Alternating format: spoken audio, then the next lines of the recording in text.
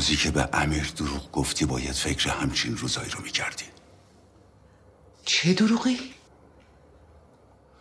روزی که امیر به هوش اومد سراغ آتیه رو گرفت. اسما خانم گفت آتیه مرده. برای شما که بد نشد. دوست داشتین دوست داشتین امیر اینجا بمونه دختره بره یه ور دیگه. عزیزم من نگران تو بودم. به فکر تو بودم. نه شما نگران من نبودین. دختره رو دوست داشتین. اینطوری هم راحت تر بهش می‌رسیدین. چی میگی اسما؟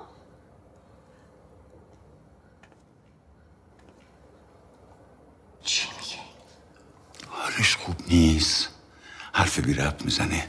عقلش از دست داده. نگران نباش. نه. من عقلم از دست ندادم. تازه عقلم برگشته سر جاش. فکر می‌کنین من انقدر خر و احمقم که نمی‌فهمم جریان ترکیه و business همش الکی بود. فقط یه چند ماهی رفتی خودتون رو تو دل دختره جا کنین خوش بگذرونین.